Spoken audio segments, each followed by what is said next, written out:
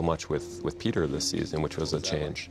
It was it was great. I mean, it was it was just wonderful to sort of get more into Cersei and sort of reveal her inner self a bit more. And so just to sort of let it go a little bit more. And then, of course, the relationship with Tyrion is kind of immensely challenging. You know, she's got a huge hatred for him and a massive respect at the same time. And she's kind of wants to be him in some ways. I think she wants to be both her brothers. And so to sort of get into all that, especially with Pete, who I've known for a long time and I trust and I love him to pieces, was sort of exciting. And um, it was just edible for me this year. I loved it.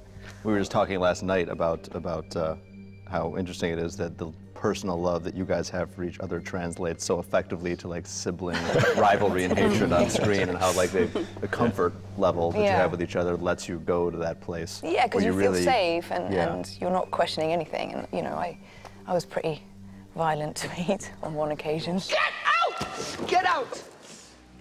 I mean, that's an effective shove because he falls down, and I remember seeing it and thinking, I don't remember us writing that, and but it works so perfectly. I know, and I said, Pete, I'm so sorry. Like that was, and he went, I love it.